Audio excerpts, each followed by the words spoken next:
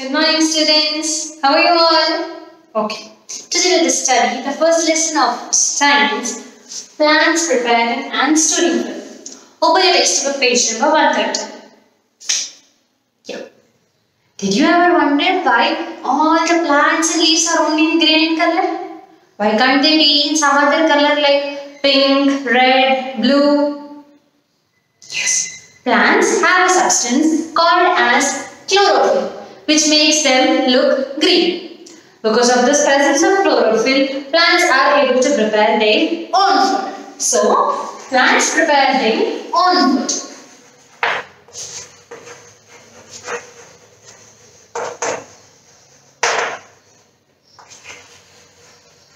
Plants prepare their own food.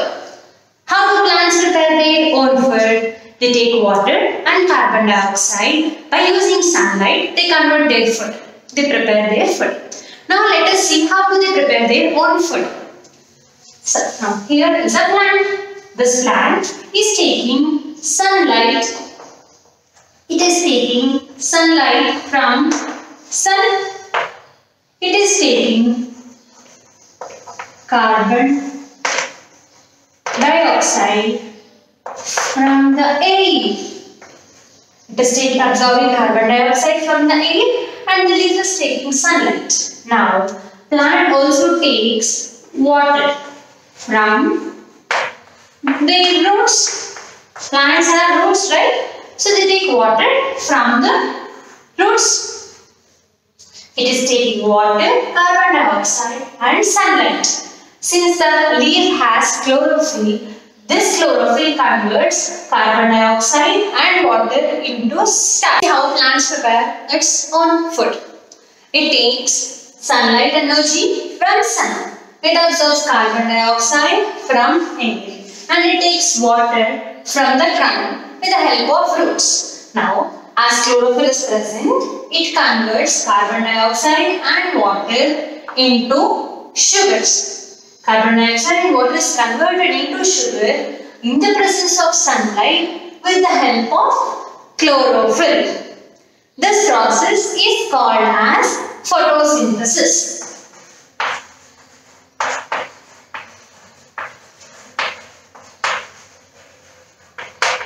Okay, this process is called as photosynthesis. Now, what do you mean by photosynthesis?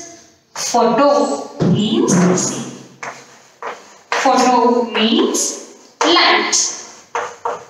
Synthesis means together. Now, the sunlight puts carbon dioxide and water together to prepare food. This process is called as photosynthesis. Now, let us see. We all have parts. See, we all have two eyes, two hands, one nose, mouth, right? Now, does plants also have some parts? Let us study about that. Now, let us take a leaf. In leaf, if you see, you will find different types of lines on the leaf.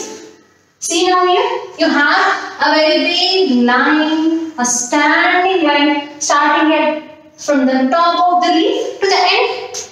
Go, you will find right. This is called as midrib. And the small, small lines are called as side veins. Understood? Now a leaf has two parts called as midrib, the long vein and side side veins called as side veins. With this midrib, one rib, one vein takes food. It supplies food to all the parts of the plant. The other vein takes water to all the parts of the plant. Right? Did you get it? Now, see, leaf has midrib and side veins. Midrib takes food and water to all the parts of the plant. Now, how do plants breathe? We have lungs to breathe. Then how do plants breathe? See, every plant, the leaf bottom has a structure called as stomata. So, this is called as stomata.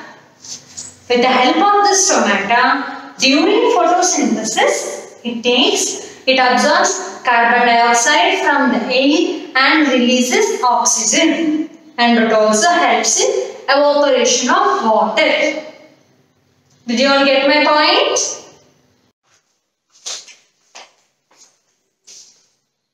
Till now we have learned how plants prepare its own food. Then how will that food be used by plant? If we eat food, we get energy. We play, we dance, we sing, we sleep, we do lot of activities, right? We come to school, we go to movies, we go outside, we do a lot of things with the energy which we are getting from food. Now, what will the plant do? Let us see what the plant does. How does they use it for? It is used to get energy. Now, if we eat food, we get energy, right? So, we can go out, we can play with our friends, we can play with our siblings, we can come to school. In the same way, plants also use their food to get energy. If they get energy, they grow more and more and more tall. See, plants are so taller than us, right? They use their energy to get more and more taller. To, some of it is used for growth. See, some trees are very huge, huge, very big, big trees. Very, very big trees. So, if they're having more, more amount of food, if they're getting more energy, they're growing more and more big. Right? So, in the same way, if you eat more food, if you are more energetic, you'll grow more and more strong. You'll be more and more big. And if you go to a shop, um, shopping mall, if you get some chocolates, if the chocolates are extra, what will you do? We'll store it right, we'll go we'll keep it in the fridge. In the same way, if the plant has more amount of food, it is stored in the form of starch. We store our food in fridge and plants store their food in the form of starch. Okay, so this is present in leaves, stems or roots. Do you all like eating spinach? Or do you all like eating curry leaves called karvepaku? You don't like, no? So, the food or the energy is stored in the form of leaf in spinach. Now, do you remember what is the stem which we eat? You don't remember? Do you all love sugar canes? Yes. Uh, the plant stores its extra energy in the form of stem in sugarcane plant. Now, do you all love potatoes? We all love eating aloo, right? Aloo chips, aloo gobi, aloo, aloo, aloo, you know, like lot of aloo varieties. Now, this aloo, this potato is also an example of food storing. The food is stored in the form of root.